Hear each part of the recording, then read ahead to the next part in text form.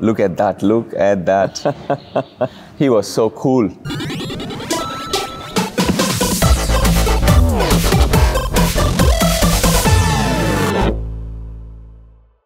Hi, this is Sharath Kamal Achanta from India. And this is Rate My Shot. And here we go. So I'm looking at the first one by Kevin. So looks like a pretty young guy here. And wow, that's a hand switch. He puts it on the table and, and there he goes for the big shot. The opponent is completely surprised. I would rate personally this as an 8 out of 10 because there was a fantastic hand switch, great balance, puts it back on the table and then goes in for the big backhand finish. So really a great shot to come back into the game.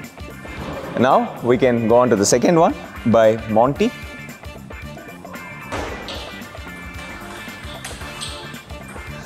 Wow, a double-handed backhand and then a fantastic smash straight down the line. He was so cool. I think the way he could recover from the double-handed backhand shot was, was really nice and he, he didn't get stressed and he just put the ball onto the other corner from where the player was not there. I would rate it a 6 out of 10. So now we can move on to the third one. The third one is by Petko Petkov.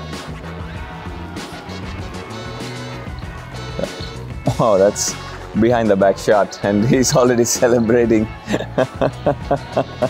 the young kid can't understand what exactly happened. and I do see a lot of the pro players doing it these days, like Pitchford has been fantastically doing it in the recent times. There's been Daniel Habesohn who's done it.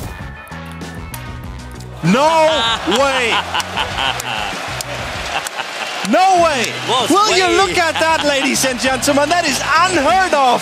I think eh, we need to start learning this stroke as a professional stroke, I guess. So for this, I would rate it a 7 out of 10.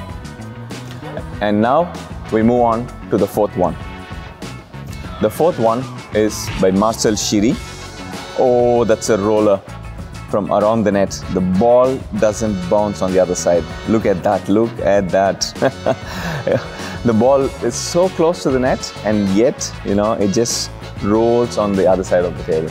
So yeah, my final rating for this uh, fourth video will be a 7 out of 10. So these were the four clips for today and my personal best was the shot by Kevin because it had two trick shots by itself, one with the switch hand and then he goes on for the big backhand shot from almost 2 to 3 feet behind the table. Congratulations Kevin, you are the winner and you have qualified for the shot of the year voting where a special prize awaits. Thanks everyone for submitting your shots and keep them coming as the next pro is waiting to rate your shot.